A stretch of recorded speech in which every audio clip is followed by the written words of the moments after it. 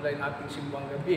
I hope ano po ay uh, nasusubaybayan po natin ang ating pong uh, online simbang gabi. So ngayon pong gabi ay uh, umaga, ngayong umaga ay uh, ating pong uh, bibigyan po yung pangpito ano po, sa salitang disciples uh, from the from the letter L po yung L stands for loving God and loving people po the story of affection so atin pong uh, i-welcome uh, sa ating pong kalagitnaan ang mensahero po sa gabi pong ito sa katauhan po ni Pastor uh, Nor- Norberto Limitaris Jr. ng uh, Ten Commandments UMC. Let us prepare our hearts as we encounter the living uh, God through His Word at mula po sa kanyang mensahero ngayon po sa ikapitong uh, simbang gabi po natin mula po sa kanyang lingkod Pastor Norberto Limitares Jr.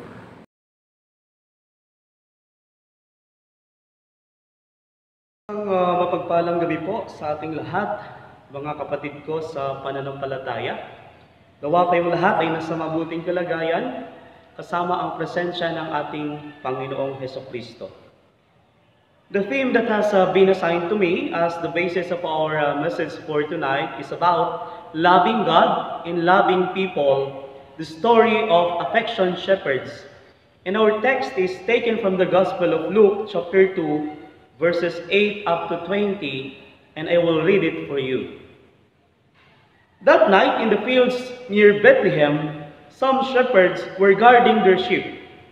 All at once, an angel came down to them from heaven, and the brightness of the Lord's glory flashed around them.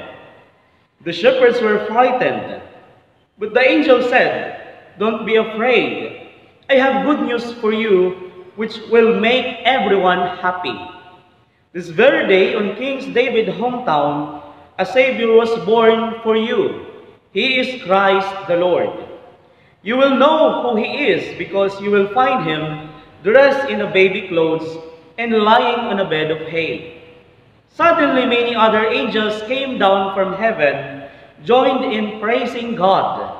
They said, Praise God in heaven, peace on earth to everyone who pleases God.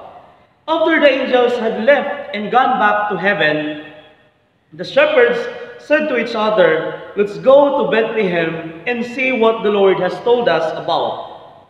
They hurried off and found Mary and Joseph, and they saw the baby lying on a bed of hay. When the shepherds saw Jesus, they told his parents what the angel had said about him. Everyone listened and was surprised. But Mary kept thinking about all this and wondering what it meant. As the shepherds returned to their sheep, they were praising God and saying wonderful things about Him. Everything they had seen and heard was just as the angel had said. Let us pray for a moment. Lord, we thank you for the gift of your word. And as we meditate and ponder on this, open our hearts and our minds to hear you. In Christ's name we pray. Amen. Once again, magandang gabi po sa ating lahat, mga kapatid ko sa pananampalataya. As Christians, we are called and privileged to live with connectedness. Kaya natatandaan ko pa mga kapatid, I remember when I was in seminary, one of our professor tackles about the connectedness of life. Each of us has connections, since each of us is part of the bigger web of life. And definitely, we are in the web of life, so therefore, there is interconnectedness. So we are connected with our Creator, a loving God, and a Father of all. And at the same time, we have connections with the rest of God's creations, most especially humans, yung tinatawag nating kapwa, mga kapatid. As mentioned by Apostle Paul in his first letter to the Corinthians in chapter 12, it describes the Christian community as the body of Christ, individually and corporately connected to one another. Since ang ating Diyos offers unconditional love, connection, and a personal relationship with Him, kalakip ang pangako at katiyakan ng buhay na walang hanggan.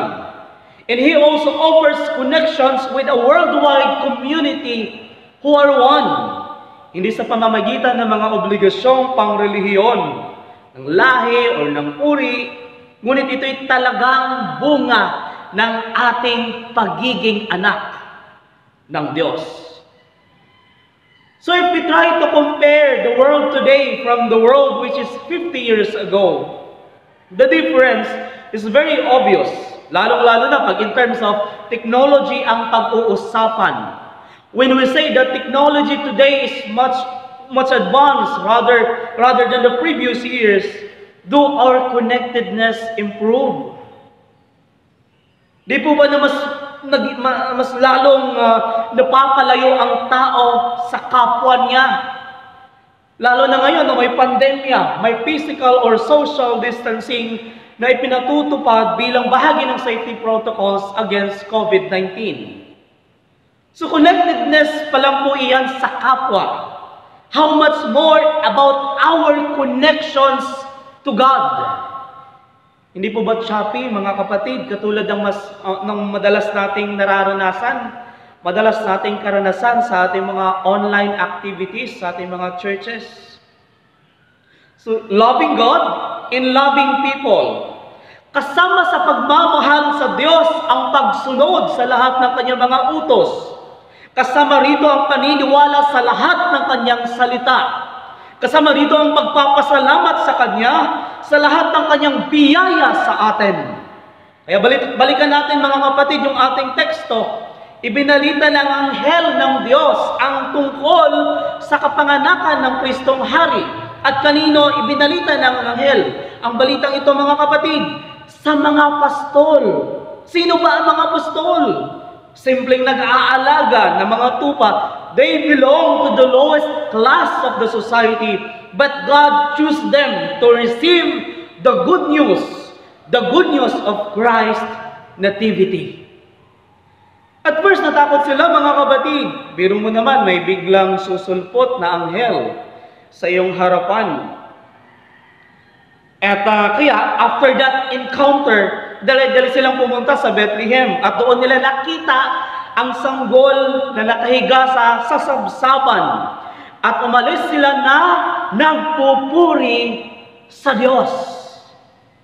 So ang ating tapat na pagsunod sa Diyos will cause us to experience more blessings in His kingdom at kailanman dahil sa kadakilaan ng Diyos sa buhay ng bawat isa, kung kaya't nananatili, mananatili sa ating mga labi ang mga salitang may pagpupuri at pagpapasalamat sa ating Diyos na buhay. At dahil mahal natin ng Diyos, hindi seasonal ang kagalakan na meron tayo, mga kapatid.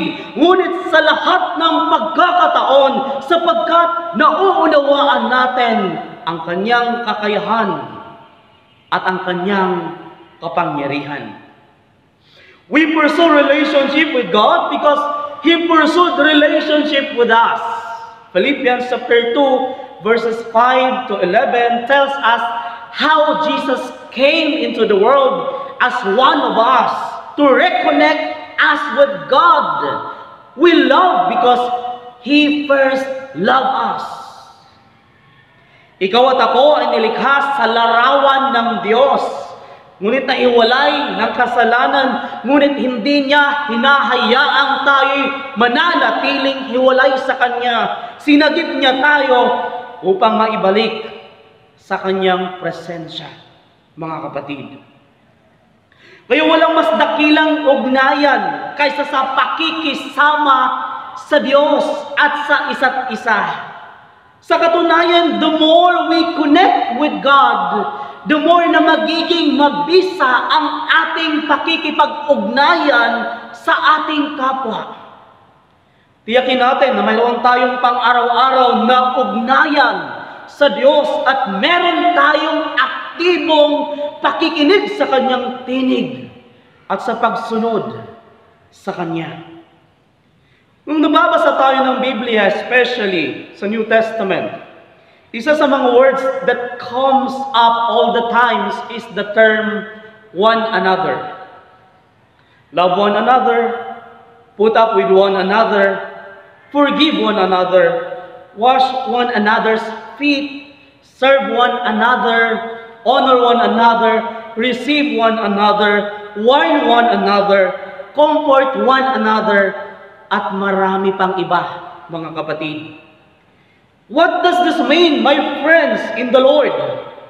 We will never grow as Christians outside of that connections, outside of connections. That's why the shepherds, the shepherds leave the place of the Lord's nativity with great joy and they praise God and they share it to others the good news. So therefore, my friends, keep your connection to people as you keep your connections with God. Ang tanging paraan lamang upang lumago at manatiling tunay na Kristiyano ay ang pananatili natin sa relasyon. Relasyon natin sa ating tagapaglikha at relasyon natin sa ating kapwa. And that is loving God in loving people. Ang paglagong kristyano at pagkakaroon ng bunga ay nagaganap lamang sa pamamagitan ng pagkakaroon ng isang relasyon. Ay ang ating paniniwala, pananampalataya, ugnayan sa Diyos at karanasan ay hindi lamang hindi lamang tungkol sa atin, ngunit ito ay ang buhay at kapangyarihan ng Diyos sa atin at sa kabuuan ng katawan ng ating Panginoong Heso Kristo. Isang mainit na pagbati po sa inyong lahat ng maligayang Pasko at manigong bagong taon, mga kapatid. Sa pangalan ng Ama at ng Anak at ng Banal na Espiritu. Amen.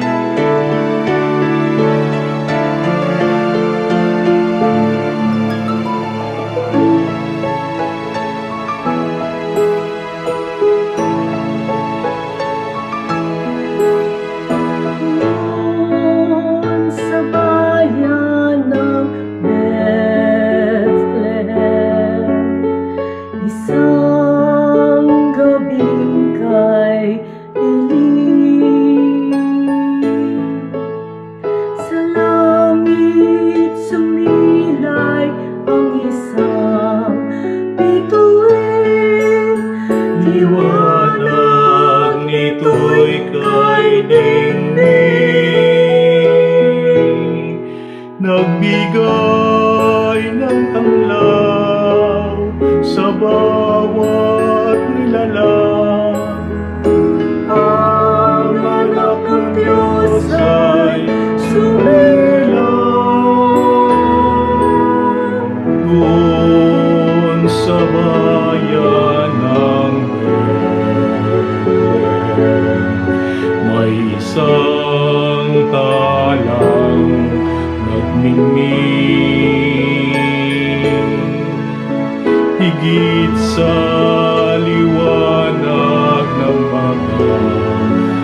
独一。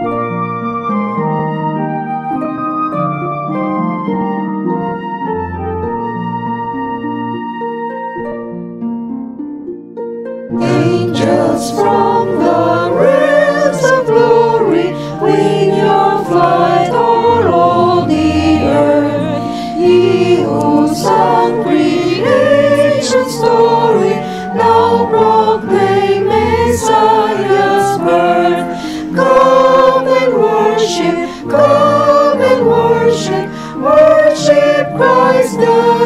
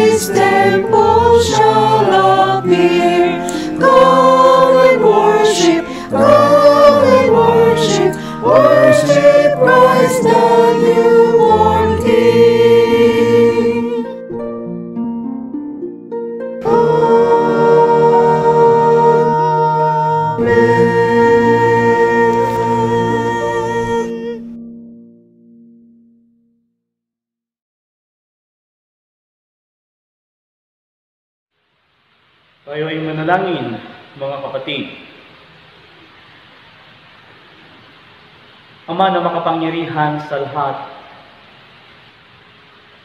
patuloy kami nagpapasalamat, Panginoon, sa kalakasan at maging sa oportunidad na kami, Panginoon, ay nagkakatipon kahit sa online service.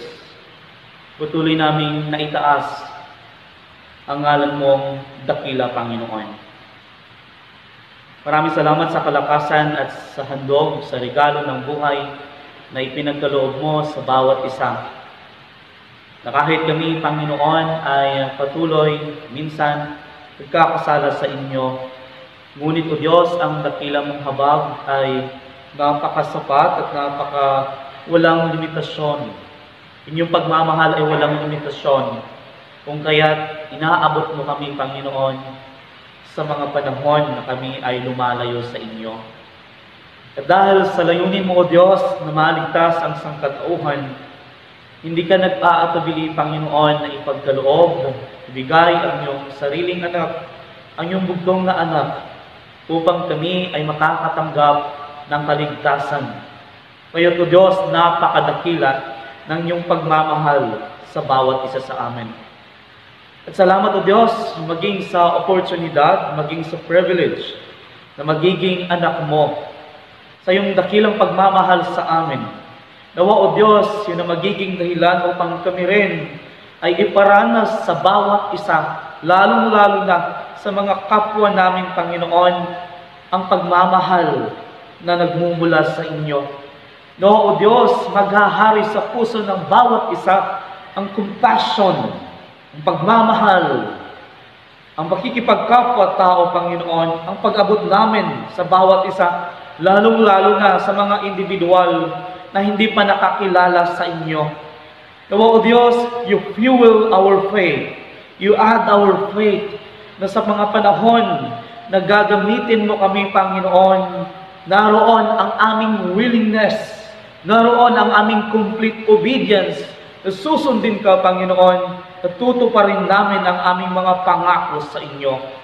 Kaya maraming salamat, Panginoon, sa pagdatal mo. Salamat as we celebrate uh, the spirit of Christmas. Totoong naroon ka, Panginoon. Ang aming celebrate ang pagdating mo at hindi lang ang pagdating mo, Panginoon, ngunit lalong-lalo na ang preparation ng bawat isa ng iyong muling pagbabalik. Naway madatnan mo kami, Panginoon, na patuloy na gumagawa sa inyong kalooban, na patuloy na tinutupad, Panginoon, ang aming mga pangako sa inyo. Kaya patuloy mong pagpalain, I continue to declare your blessings, your, your prosperity, lalong-lalo sa iglesia ng Grace United Methodist Church. Patuloy mo silang pagpalain at, at maranasan ng patuloy, Panginoon, ang iyong kapangyarihan, ang iyong pag-ibig, ang iyong pagmamahal. Lalong-lalo na, O Diyos, patuloy mong i-bless ang kanilang uh, mga tahanan ng bawat isa na pamilya, Panginoon, na, na patuloy na, nag, na tapat na naglilingkod sa inyo. Muli, O Diyos, ang iyong pangalan ang siyang aming maitaas sa gabing ito at maraming maraming salamat sa buhay na ipinagkaloob mo sa bawat isa sa amin. Ito, O Diyos, ang aming panalangin, muli namin ibinabalik sa inyo na may papuri at pasasalamat sa matamis na pangalan ng aming Panginoong Jesus. Amen.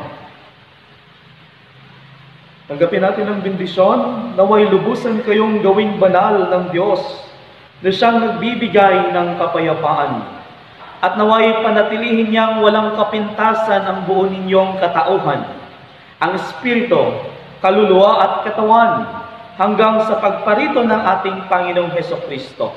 Sa pangalan ng Ama, at ng Anak, at ng Banal na Espiritu. Amen.